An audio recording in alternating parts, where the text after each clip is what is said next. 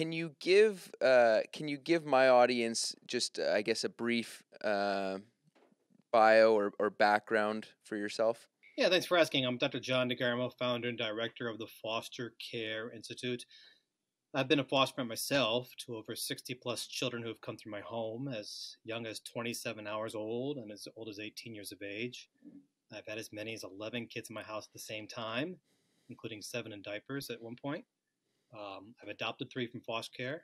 I work with child welfare agencies across the globe, trying to make the system a better one for the children, for the families, for society, try to prevent human trafficking from happening, and uh, work with legislators in the United States on trying to reform the system.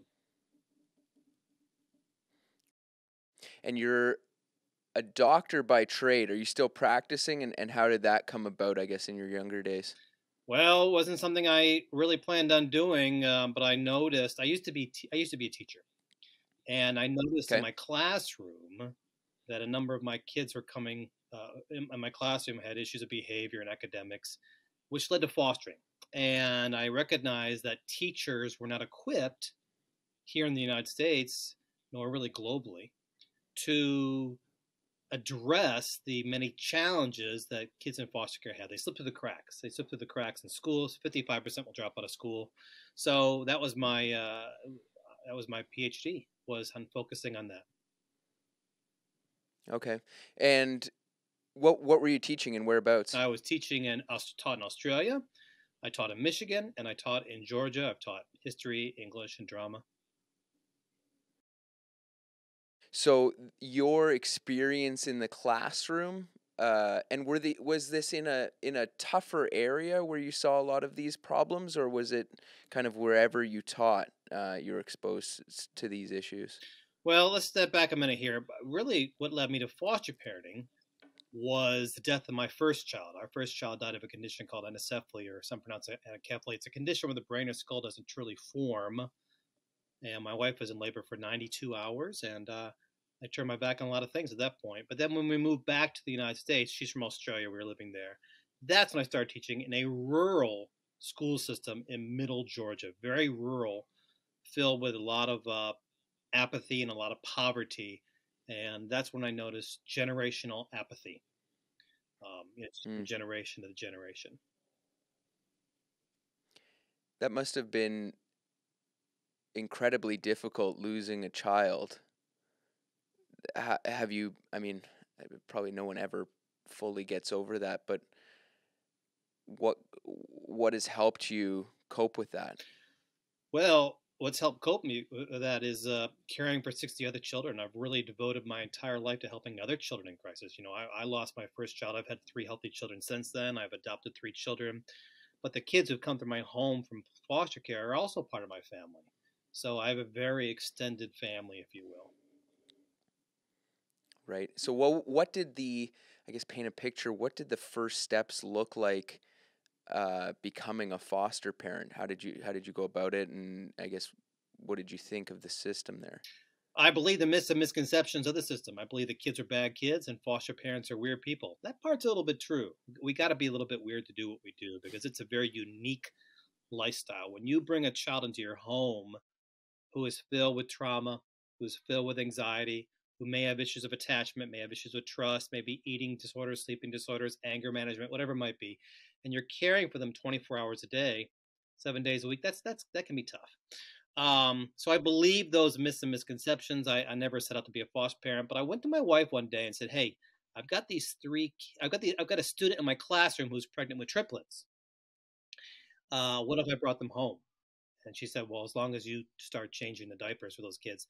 In addition, very close to my house was a um, was a human sex trafficking ring, and and uh, the the gentleman, Dr. Malachi York of the Nuwaubian Nation, you can find it online. He apparently has abused over a thousand children sexually. So the combination of and some of those kids are in my classroom. So a combination of of a student being pregnant with triplets, child sex trafficking happening happening where I was working at, that really led to discussion of, hey, how do we help these kids? and that led to foster parenting. That led to the discussion of foster parenting. Then we took the classes, and before we knew it, we had our first placement. And I will tell you this: ten, uh, the first placement arrived at ten thirty at night. It was a four-year-old girl and her six-month-old sister, and I recognized twenty minutes later at ten fifty that I was not ready. I was not prepared. My training did not prepare me for it. Um, it was uh, it was difficult. Yeah. What did that must have been incredibly difficult being a teacher and navigating that situation with the the student to to take in her triplets you said yeah how how complex was that situation did, what, did you have to go through different channels to make that or, or was it more of a more of a you know a one-on-one with that student how did that work? Well, we were unable to take that those triplets um, because by the time okay. we finished our foster parenting classes, the triplets are born and placed someplace else. So, but it did lead to that discussion.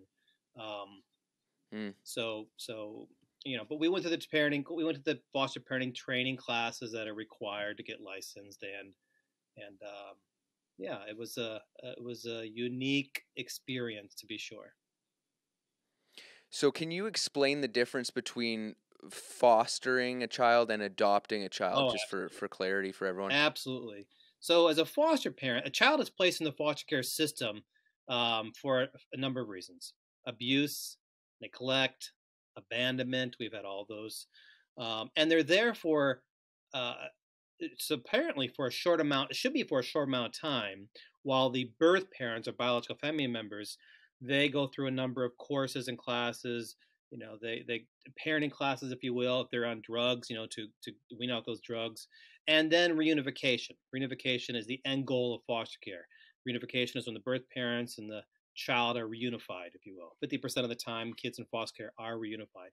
Adoption from the foster care system uh, results when the birth parents are unable to fulfill the requirements to have their child return to their home and then it's known as termination of parental rights. The, the parental rights are terminated by the courts, then the children become available for adoption.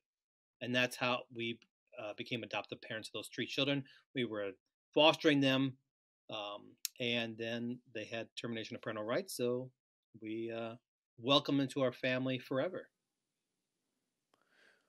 Right. So I'm sure you you early on you uh, became aware, I guess, of what your maximum capacity would be, hmm. as far as how many children you could you could foster or adopt. what what is that? Do you think, and or what is it for you? Well, I told you we've had as many as eleven at the same time, which is very unusual. The limit for most states is six, but since there's such a a need for foster parents. There are more children coming into the system, yet there are not enough foster parents. So, me being the national expert, the agencies just say, you know what, the DeGarmos will take more kids. We'll just keep giving them more kids. Um, I don't know what my limit is. 11 is a lot of kids, let me tell you. It's exhausting. It is exhausting. Um, I, I, noted earlier we had seven in diapers, which meant pretty much every waking minute a child needed a diaper changed. Um, yeah, yeah. When we go to any event, we're like a clown car because kids just keep coming out of the car and out of the car and out of the car. Um, we have our own baseball team, you know. Wow, wow, that's that's that's pretty neat. Do you are you able as a foster parent to be involved in where that child ends up or goes, or is that completely left up to the state? It's a great. What, how are you involved in that process? It's a great question. It's left up to the state, you know, um, unless, of course, it's for adoption. Now, I do need to add that when it comes to termination of parental rights, the first people who are able to adopt a child might be biological family members, grandparents, aunts, uncles, maybe older siblings. And then if no one's available, then the foster parents usually get the first right to adopt. We've experienced four failed adoptions, which means for some reason the adoption process did not go through. Um, but normally, the foster parents have very little say when it comes to where a child goes, and that is tough for a foster parent because I believe children in foster care need three things: they need stability, they need structure, but what they need more than anything else is unconditional love. They need us to love them with all mm. of our hearts um, because we might be the first person who's ever loved them. So that means when they leave our home, for whatever reason it might be, yeah, our hearts break, absolutely break. I've cried so many times for these children when they've left my home. I've grieved that foster parents experience feelings of grief and loss because I wonder, you know, to this day, I wonder how is so and so doing? You know, is so and so safe? This today is so and so's birthday. Um, you know, what what are they doing? How are how are they? So I often wonder where they are. Right, right. So you probably more than more than almost anyone ha- have been in you know contact with the foster care and adoption system in the in the U.S. Uh, does it does it differ drastically from state to state? It does, and I've also worked in Canada as well several times. Um, yes, okay. in the America, in the United States, there's 50 different states, which means there's 50 different ways of doing foster care. A lot of similarities, but there's also differences in policies and procedures as well. What are the biggest issues that that you see with the way, on average, things are done? Uh, what, what's the biggest? Are you asking maybe what the biggest challenge might be? Yeah, with with the legislation, with how with with the states. Um, child welfare agencies today are overworked, overwhelmed, under resourced, under supported, understaffed, and underpaid. Your your average caseworker might or social worker might last 18 months before they say, ah, this is too tough for me, I'm out of here. Same thing with foster parents. They say they may last hmm. 18 mm. months before they say, hey, I can't do this. This is too hard. Um, so there there needs to be uh, a, a, a smaller ratio of foster parents to caseworkers. Uh, we did a survey of over 5,000 foster parents here at the Foster Care Institute. And we asked them, what's the number one reason why you're quitting? And by far, number one reason was we don't get enough support when we're when we're experiencing burnout, stress, grief, loss, compassion fatigue. At the same time, uh, caseworkers or social workers can't help those foster parents because they're inundated with so much paperwork to do, and they have so many other foster parents they have to work with and there's visitations there's court there's doctor's appointments there's meetings um, so they don't have enough time really to address the foster parents and as a result foster parents are saying hey no one's helping me. I, I can't do this anymore.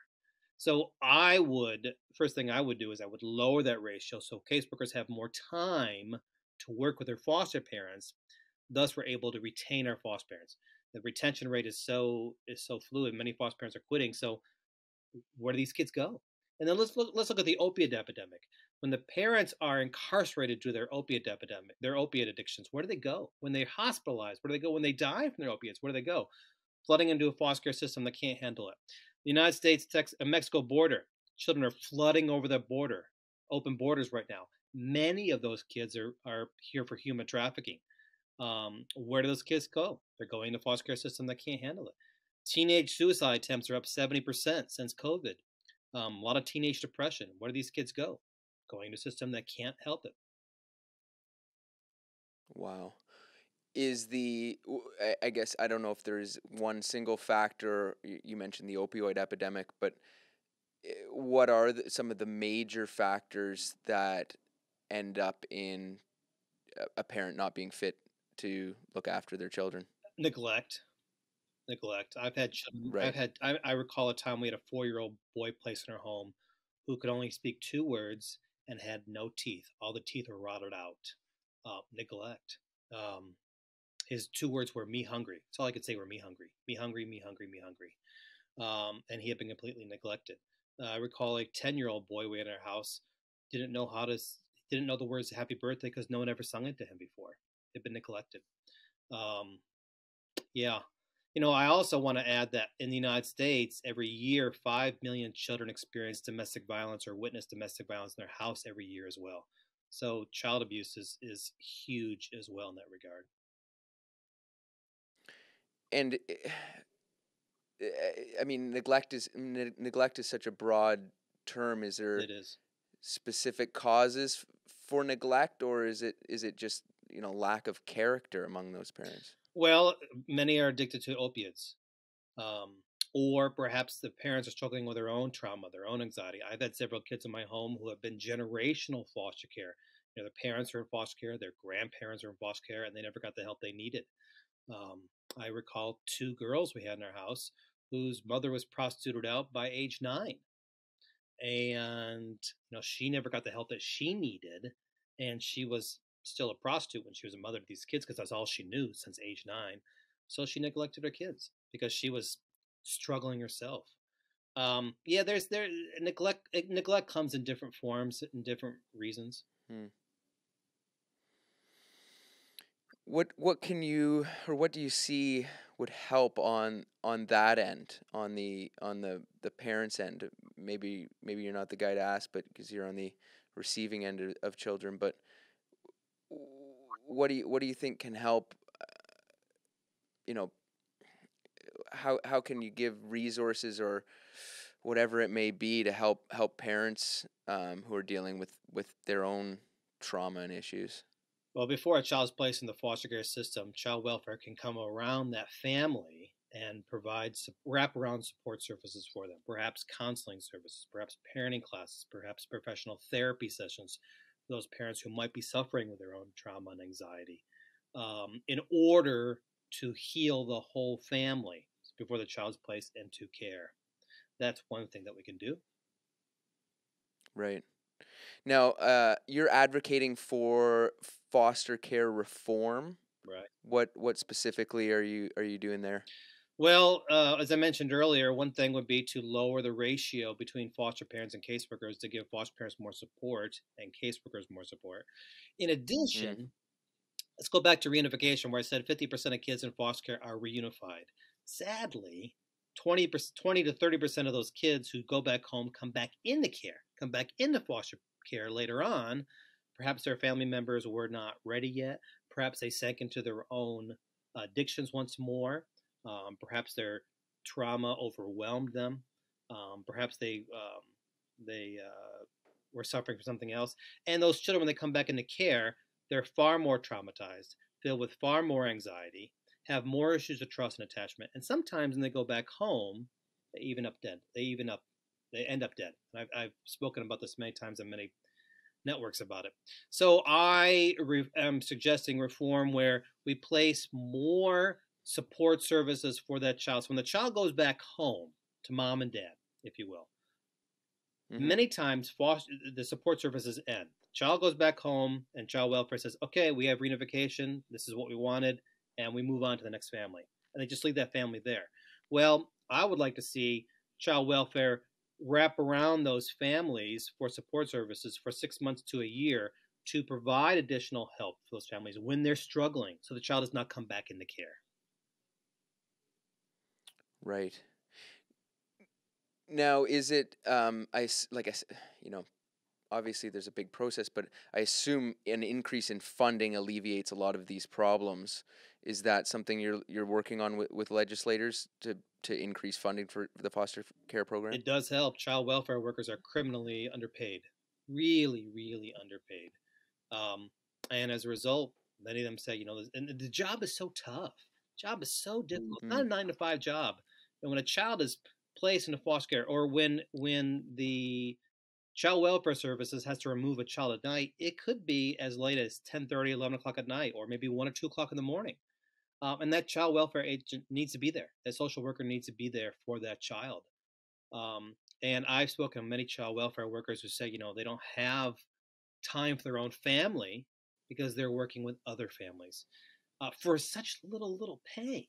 And the burnout and the stress is very mm-hmm. high among them. So I would suggest, yes, yeah, some of that funding can certainly go towards giving the child welfare agencies um, an increase in pay, an increase in salary. Yes, and and also funding can also go towards therapy and counseling sessions for the children while they are in foster care as well.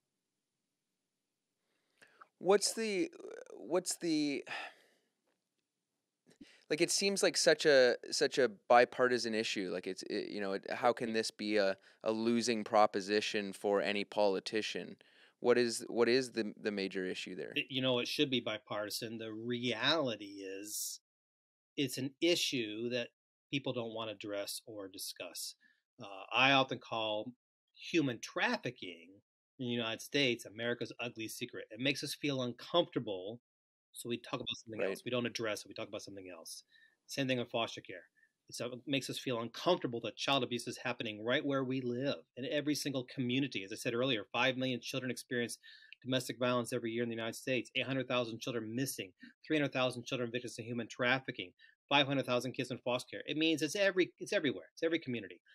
but it makes us feel uncomfortable. So, because maybe it's part of our own family, maybe somebody in our family is abusing a child or neglecting a child, and we don't want to speak up about it.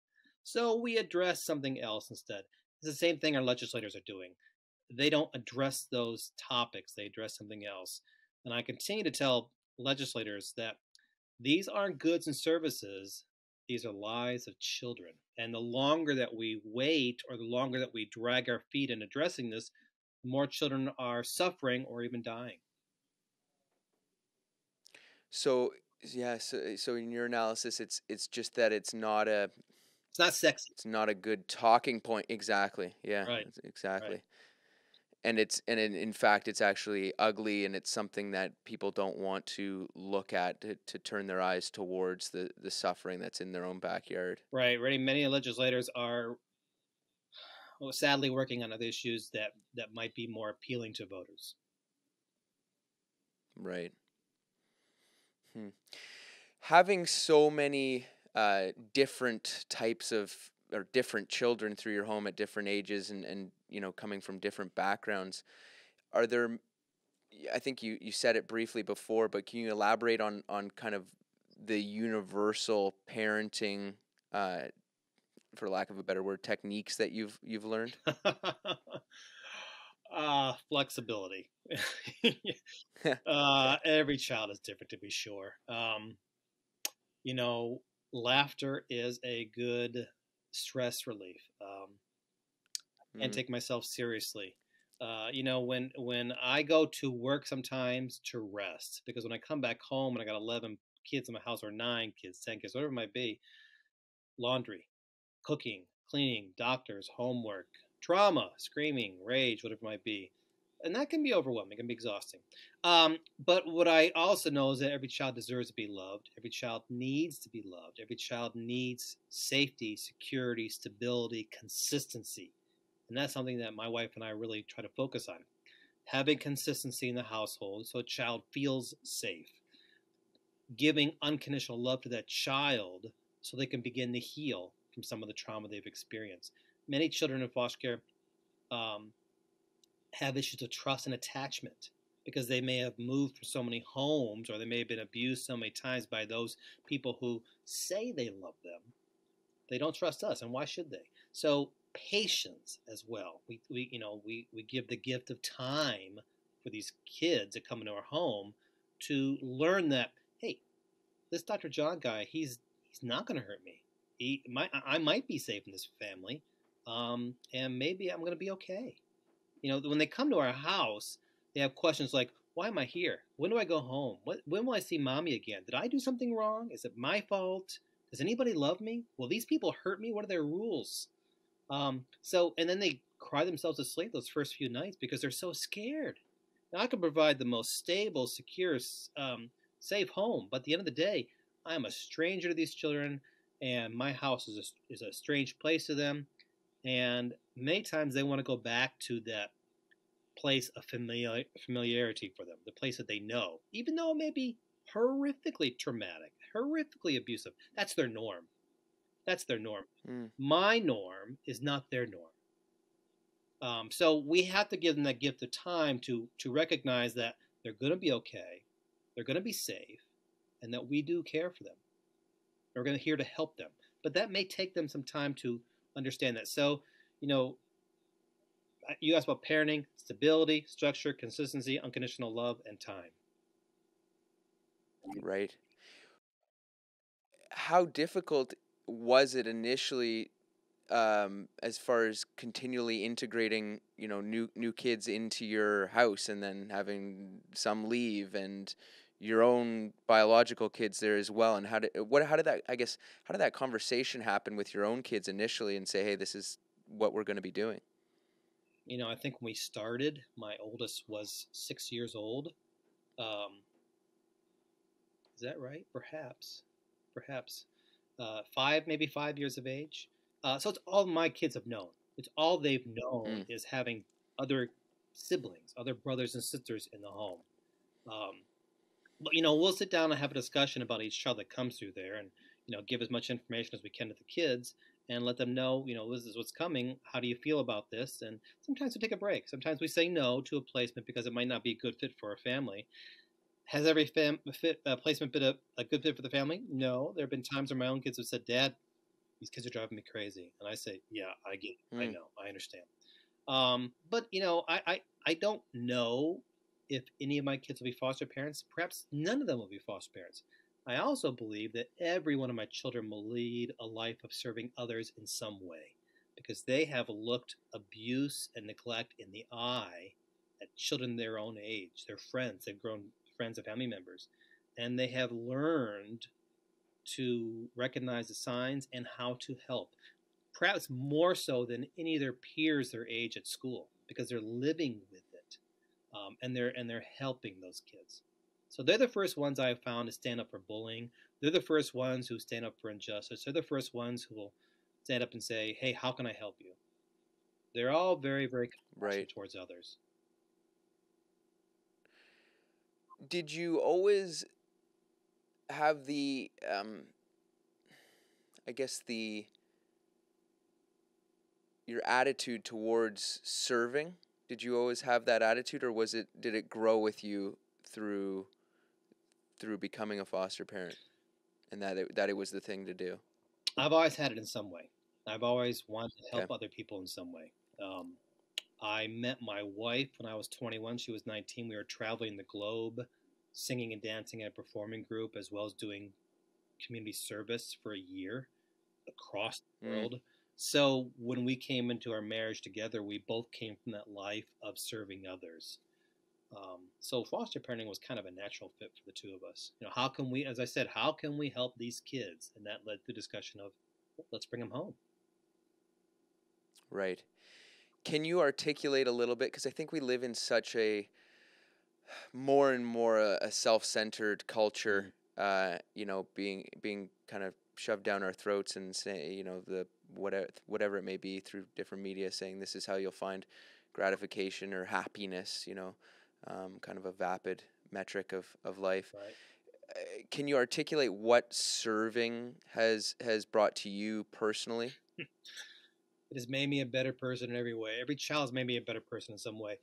Watching a child, a four year old girl who had experienced horrific rape all through her life by her grandfather, um, watching her learn how to smile watching her learn how to laugh, amazing. Watching a 14 year old boy who had never received a gift in his life and unwrapping a present on Christmas Day, a leather jacket, and asking, Can I keep this? The kid, tough as nails. Um, and we said yes, and he started crying. He had never received a gift before. Um, watching a child who had gone through three adoptive families who all abused her and then gave her back. Watching her at 17 years of age, having no, didn't, didn't trust anybody, helping her go to college. And now she is a child welfare worker herself, and we're grandparents to her children. You know, I have been blessed by every child that's come in my home, and I have been so fortunate to have these kids be part of my family. As I said earlier, every child's made me a better person, better husband, better father, better member of community in some way. What do you say, or what is your counter, if if at all, to uh, again in our culture the growing sentiment that having children is the wrong thing to do? Well, if having the children is the wrong thing to do, then you and I wouldn't be here. it would cease to exist, right?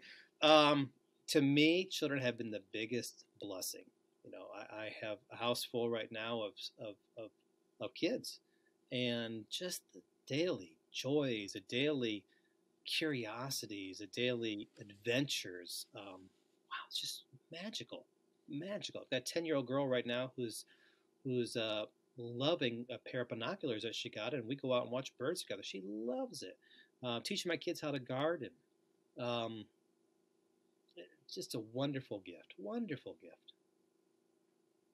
Right. and then I guess you know being I, I think a uh, think everyone not everyone but a lot of people have have this um, you know this desire to serve and a lot of people don't know where to begin uh, you know I guess I guess how would you guide people uh, find where where they can serve and and you know in what capacity Well, I'll start off by saying not everybody can be a foster parent. It's the toughest thing I have ever done. Toughest thing. At the same time, it's been the most rewarding thing. But if someone is considering becoming a foster parent, the first thing I suggest that they do, in fact, what they need to do, is sit down and talk to their partner, their spouse, if they're married. Because you both have to be on board. You both have to be committed because it takes both of you to make it work. There are days where I say to my wife, I'm just exhausted, I'm worn out emotionally. And she might say the same thing, you know, so we, we, we tag sometimes. And then um, if both are on board, you contact your ch- local child welfare agency. You don't have to be rich, you don't have to be married, you don't have to have a big house, just have a desire to help these kids. Now, if you can't be a foster parent, there are so many ways you can help children in your area where you live right now at this at the time. You could be a mentor to these kids. You could provide school supplies, hygiene items. Some of these kids come to our house with just the clothes on their back.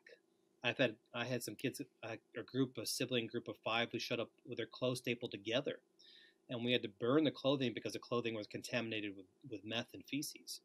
Um, but, you know, Jeez. provide clothing, um, school supplies. Um, you could provide meals for the foster parents in your area. If you own a small business, you could hire some of these youth and or teens in foster care to teach them important work skills, uh, living skills, social skills. Those are just a few of the many, many ways. I, I do a deep dive in my book, The Church in Foster Care, because I believe, I believe that today's faith-based organizations are called. You know, listen, I went to Mexico. My kids have been to Honduras and Nicaragua for mission fields, but the real mission field is every community's backyard. Because as you and I are having this conversation right now, near where you live and near where I live, there's a child crying out, Please help me. Please, somebody help me. So that means we can all help a child where we live in some way. Right. Now, what are your thoughts on? Um, you know, I look at it. I'm I'm such a young adult, and I battle with this internally. uh, That I've got to I've got to make more of myself first, and and probably become wiser before I stick my finger in. You know, meddling in society. Um, I mean, you became a foster parent pretty young. It sounds like. Uh, how old was I?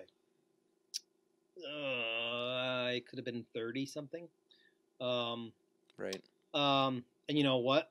I, as I told you earlier, I, I had three kids of my own. I was a teacher. My wife had a degree in psychology. Um, we both recognized in 20 minutes, hey, we're not ready. We're not ready for this. We're not we're not equipped. We didn't get trained on this. So it's always learning. Always every time a child's placed in my home, I'm going to learn something different. It's always you know, always learning. Knowledge is power, right? Um, and I and I'm grateful for those opportunities to learn. So I would say to someone like you who is who thinks they need to have more experience, again, if you have a desire to help children in your heart, then you can do so in some way. Whether you bring them in your home, or you're a mentor for a child in your community, or maybe a tutor, or providing those school supplies or hygiene items or Christmas gifts for the foster parents in your Mhm. area. Um, so many, so many times, foster parents, yes, we get a per diem, a daily per diem. It's not much. It really doesn't cover a lot. Uh, so when a child comes into my house, I want to make sure their Christmases and birthdays are huge, something to really, really celebrate because it could be the very first time they have one, and it might be the last time they have one. So I want to make it very, very memorable. So that means I'm digging into my own wallet and, and spending my own money. That's perfectly fine. I have no problem with that. In fact, I welcome that. But there are people like you can say, you know what, I can help. I can go and buy some gifts or donate some money to the local child welfare agencies in my area for Christmas time or birthdays or whatever it might be. Um, so I, I would just say to someone like you, find out where your talents lie and see how you can share those talents. Right, right. What do you do um, to ensure that you're recharged and, and showing up kind of at, at your best? I'm a gardener. What kind of do you have? Do you have practices or Yeah. church or meditation or whatever it may be? Uh, a number of things. I love to garden. I love to garden. So I go Mm. outside and, and garden. It allows me to escape. Um, behind me, you see my library. I love to read. Uh, I like to read. People say, "Have you read this foster care book? Have you seen this foster parenting movie?" Nope, I live it. So I read something to escape. I do escapism, um, science fiction, fantasy type of thing. Uh, prayer for me in the morning is very, very, and throughout actually throughout the day, throughout the day is very important as well. Um, and then you know I rely upon my own friends. Uh, I do a lot. My wife is from Australia, so we travel the world. Uh, we were in Africa recently, Costa Rica, um, and again, it gives me a lot, allows me the opportunity to recharge those batteries, so I do not become burned out. And I have been burned out. I have been something known as secondary traumatic stress or compassion fatigue. I love that word, Mm. compassion fatigue, fatigue, exhaustion from compassion, from caring so much. Um, and it's a very real condition for those for for caretakers. So I am conscious of the fact that I've experienced those before, and uh, how do I prevent that from happening again? My wife, she likes to uh, climb into bed 10, 11 o'clock at night and start playing Candy Crush. I don't understand it. I don't get it. But that's what she does. It's able to, she's able to just escape into something mindless. Right, right. And I think it, this might be different for everyone, and I think everyone um, kind of struggles with this. The balance between looking, and, and you're so exposed to it clearly, is suffering. The balance between looking suffering in the eye and you know how how hard and difficult and how much of that that takes of you. And at the same time you know it's it's it's God's will. This is all perfect as well. How do you how do you how do you kind of find that balance? And and sometimes you know in my in my life it's you can become cold and and say you know it's all perfect and or you can you know be crying all the time well, I cry a lot. Um, you know, I want to go back to something a minute ago. I didn't say self care is important for, for foster parents and caretakers in general. Because if I can't care for myself, I can't care for these kids. You mentioned God's will. Well, God gives us free will. God gives everyone free will. So people have the freedom to make choices. And there are a lot of bad people out there who make really bad choices. As I said earlier, 5 million children in the United States alone every year experience domestic violence in their own house. So um, I recognize it's happening everywhere. And if I am not going to help them, then who will? Mm-hmm. Mm-hmm.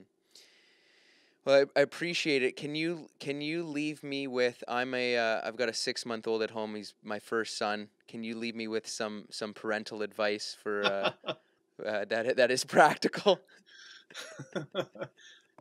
You're not going to sleep for a while. Um, what sleep? Um, I know that.